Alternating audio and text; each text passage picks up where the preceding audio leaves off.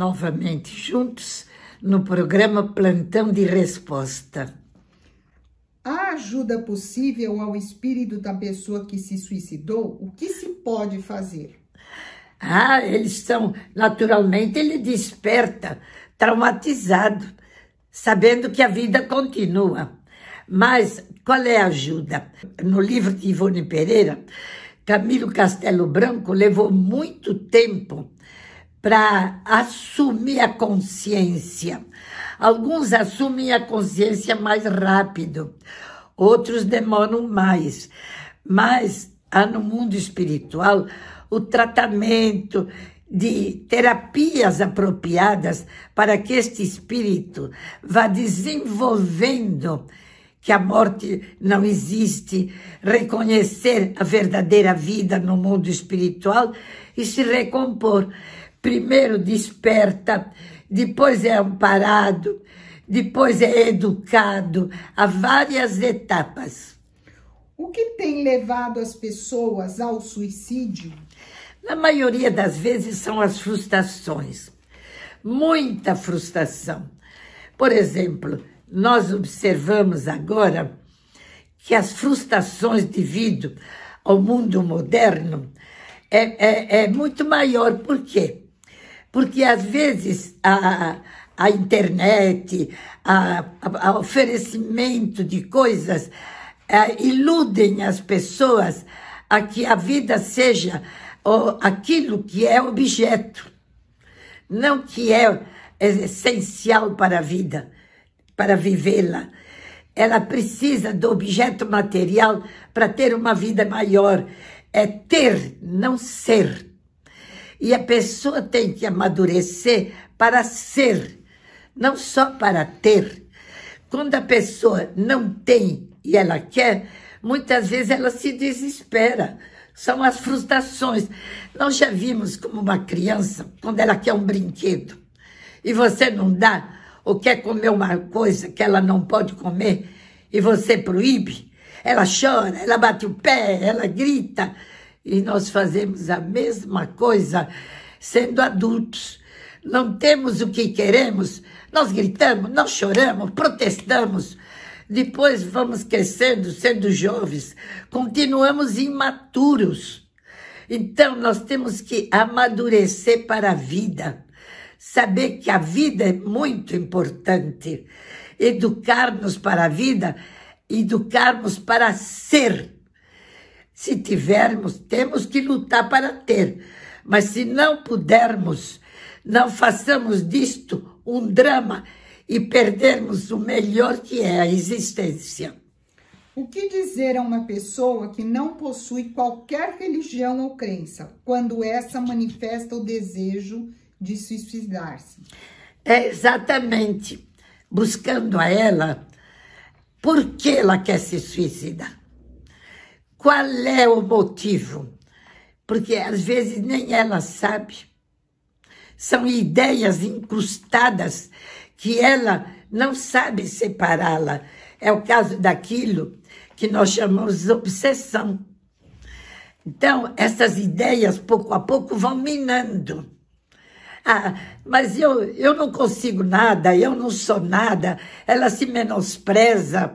Se ela não acredita em religião, você tem que falar com ela exatamente como um profissional.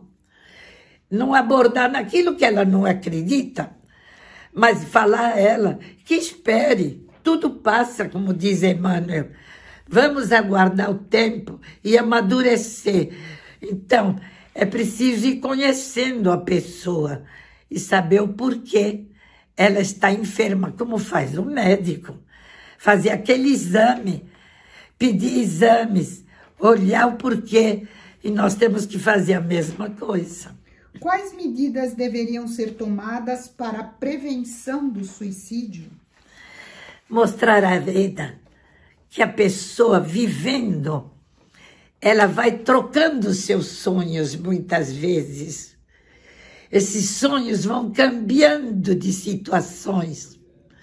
Estes sonhos de ter hoje o que eu quero, amanhã deixa de ser sonhos. A criança quer a boneca ou o carrinho, Mas o jovem não quer mais o carrinho e a boneca. E depois de jovem, eu quero o automóvel, mas amanhã eu quero uma moto. E depois que vai ficando com mais idade, já nem a moto, nem o outro faz referência.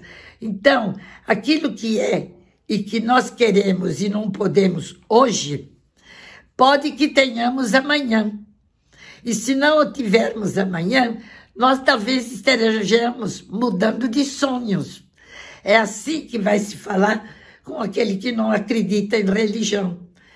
Mas é bem mais fácil falar com o religioso quando é uma religião que, que realmente ela sabe explicar que através da reencarnação o suicida traz muita frustração também.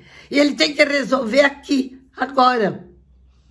Ele às vezes é suicida de outras existências. Isto aflora. A religião espírita, kardecista, ela mostra isso. Ela precisa aprender a conviver com este estado e estas situações, porque estas ideias vão influenciá-lo a viver melhor ou pior. Depende das que ele escolher e aonde ele se focar. Qual a relação entre processo obsessivo e suicídio? Os jovens, ultimamente, estão, mas as gerações, por exemplo, elas variam. Quando o espírito amadurece muito mais cedo, ele naturalmente, às vezes, através desta frustração, ele busca muito mais cedo desistir da vida. Agora, o que a gente observa é que, quando vai passando o tempo, a pessoa de mais idade, é esta realmente, ela tem mais dificuldade de querer se suicidar, ela se apega à vida. Às vezes, quando o sofrimento é maior, ela quer partir, mas ela tem mais dificuldade. Qual a relação entre processo obsessivo e suicídio? O processo obsessivo é muito importante. O que é uma obsessão? É uma ideia fixa. E de onde vem essa ideia? É preciso que a pessoa saiba que a ideia muitas vezes são incultadas nela e ela as vai alimentando. Hoje um pouquinho, amanhã depois, depois mais tarde mais um pouco, e ela vai alimentando a ideia do suicida.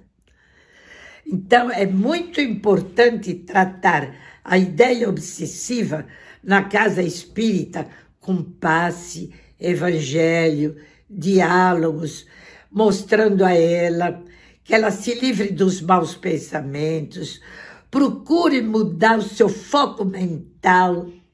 Isso é muito importante através de terapias educativas e estudo de evangelho, convívio com as pessoas encarnadas de um setor em que ela possa ser amparada. Isto é importante. Até sempre.